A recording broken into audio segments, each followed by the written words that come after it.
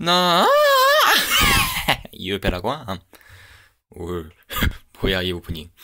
예 이거 지금 참고로 하자면 확대인데요. 예 핸드폰이 계속 얘를 확대시키고 싶어가지고 그냥 확대를 시키길래 그냥 확대를 놔뒀습니다.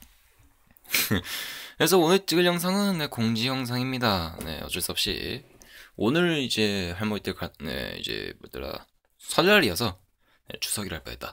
설날이어서 이제 올라가는데 오늘 올라갑니다. 오늘 준비하고 올라가기 때문에 예 그래서 오늘 이제 영상 그냥 한꺼번에 한 세 개 정도 올리고 네 그리고 그 다음에 영상을 그 다음에 아마 안 올라가기 때문에 오늘 한꺼번에 세 개 세 개 보시고 설날 이제 잘 보내시면 보내시면 감사해요. 예, 뭐 따로 이제 영상 찍으려고 했다가 네, 찍을 만한 게 하나도 없어가지고 제가 아까 전에 자, 뭐들 밖에 못 나가는 바람에 돈도 없고 해가지고 예, 지금 밖에서 되게 네, 급한데 저도 이제 빨리 끊어야 돼 끊어야 해서 해서 설날에 이제 용돈 좀 받으면 네 그때 이제 박스 사가지고 여러분이 원하는 네 박스 영상을 찍도록 하겠습니다.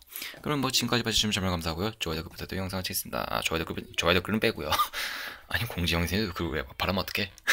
어쨌든 영상 마치겠습니다. 그럼 끝.